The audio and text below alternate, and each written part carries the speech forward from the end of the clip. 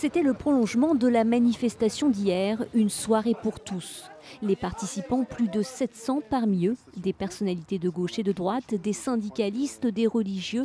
Côté politique, Christiane Taubira, la garde des Sceaux, Manuel Valls, le ministre de l'Intérieur, mais également la compagne de François Hollande.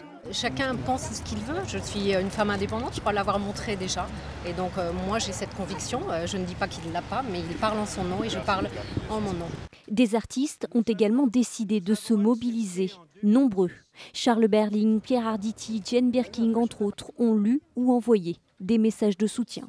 Il me semble que l'égalité pour tous euh, en ce qui concerne les droits civiques et laïques d'une république doivent être respectés et doivent être enfin, euh, euh, enfin établis en France. Une soirée à portée internationale pour montrer que cette question de société ne touche pas uniquement les Français. Des extraits de discours de chefs d'État comme Barack Obama ou la présidente argentine ont été repris par les artistes.